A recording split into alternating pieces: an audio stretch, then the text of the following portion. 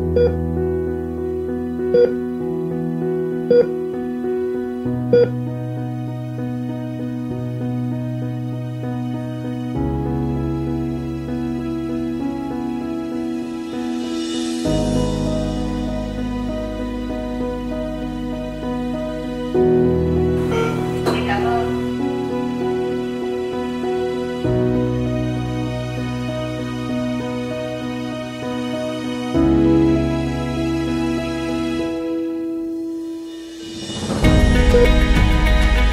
Alo,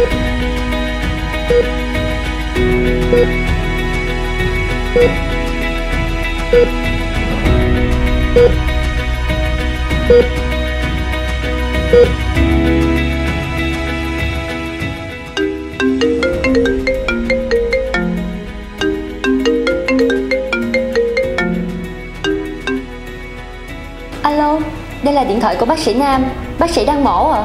Chị là vợ của bác sĩ Nam. Mẹ chị đang bị tai nạn tại ngã tư Bảy Hiền. Em nhắn bác sĩ Nam ra ngay địa chỉ này giúp chị. Mẹ chị đang bị thương rất nặng. Chị ơi chị bình tĩnh nha chị. Chị cho em biết là tình trạng của bác gái bây giờ ra sao rồi chị. Bệnh viện sẽ cho xe cứu thương đến ngay chỗ ngã tư Bảy Hiền để đưa bác vào bệnh viện. Chị giữ điện thoại để đề phòng đội cấp cứu liên hệ. Chị yên tâm nha. Đồng nghiệp chúng em sẽ luôn bên cạnh gia đình mình. Rồi rồi cảm ơn em. Dạ dạ chị. Alo Alo bác sĩ Bình đang nghe Dạ thưa bác sĩ Bình. Em là điều dưỡng Hiền thuộc phòng mổ. Lúc nãy có người nhà của bác sĩ Nam gọi điện đến, Nói là mẹ của bác sĩ Nam đang bị tai nạn giao thông ở ngã tư Bảy Hiền, Mà bác sĩ Nam đang thực hiện ca phẫu thuật, Dự kiến khoảng 8 giờ tối nay mới xong. Xin bác vui lòng cho đội y tế hỗ trợ ạ. Đồng ý, cô gửi cho tôi thông tin liên hệ và địa chỉ gặp nạn. Tôi sẽ báo đội cấp cứu hỗ trợ. Cảm ơn cô.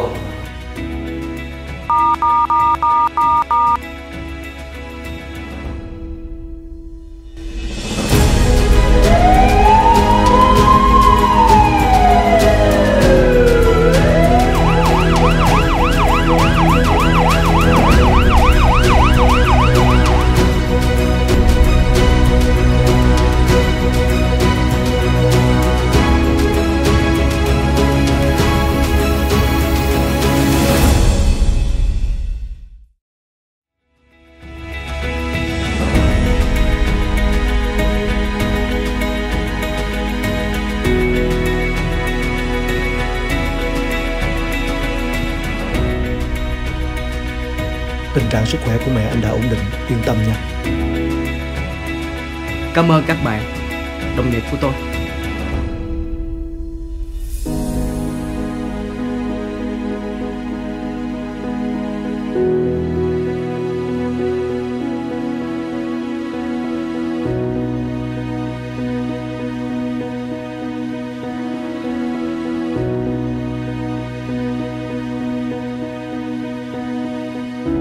Hãy tận tâm cho bệnh nhân của mình.